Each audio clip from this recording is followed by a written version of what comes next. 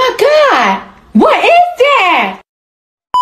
It was at this moment that he knew. He fucked up.